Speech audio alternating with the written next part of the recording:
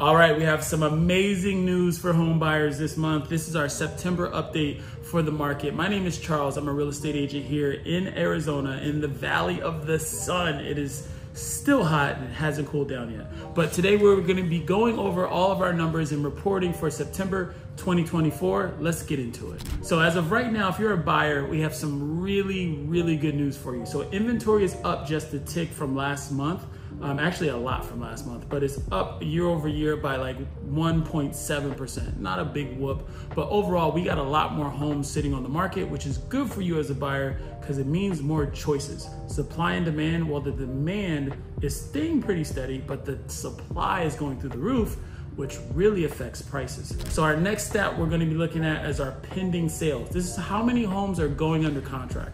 Well, from last year, it's actually 32.5% less. 32% less homes going under contract. That is a huge number.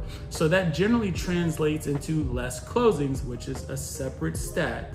Going under contract and closing two different things. but actually closed sales are down 7%. So less homes are closing. And so the buyers that are out there that are looking, if you're a seller watching this, sneaking up on our update, uh, they're a lot more serious because they're not getting into the game because they just, it's an election year. So buyers are inherently a little bit more averse that of itself that's a whole nother video. Actually, prices generally go up after the election, just so you know. So if you're gonna buy, probably the best time now. They're probably gonna drop the rates on top of that. Ultimately, closed sales are down, pending sales are down tremendously. Days on market are up almost 20%, 19.6%.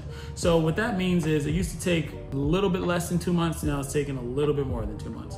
What that translates to is that it, we call this the months of supply. I have it on my paper.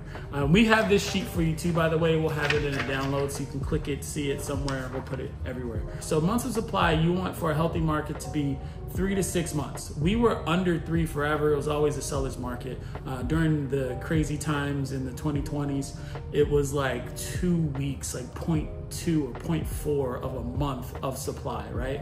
Right now we're at 3.7. I, I suspect that will get up to about four uh, pretty soon, as early as next month, and five probably towards the uh, the end of this year, maybe even getting into the sixes, really tipping into a buyer's market um, as things continue. January, I think it'll all go away personally. I think the rates being low, I think sellers coming out from hiding because the rates are getting low. I think a lot of move up buyers are gonna be able to sell their home and then move into something else that they really want that they've been putting off because the rates have been so high. I think we're gonna be just fine.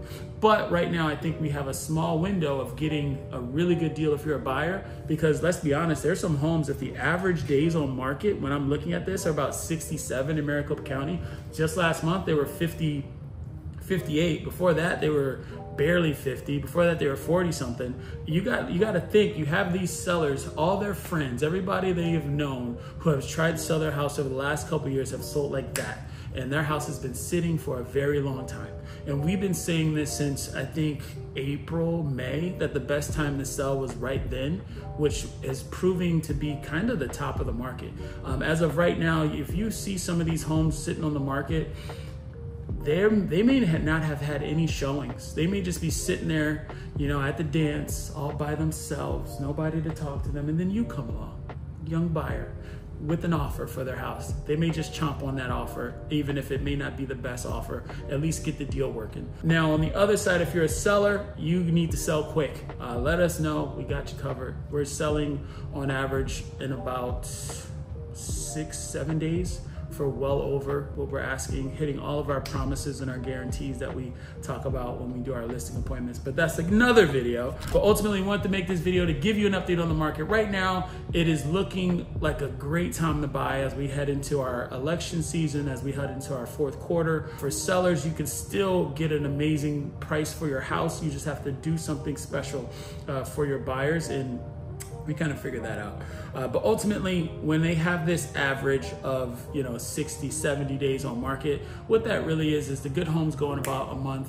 The homes that need a little bit more care, they take about 90 to 120 days. So that's why you get that average. I hope this helps. This is Charles. If you have any questions about your particular situation, let me know and I'll talk to you soon.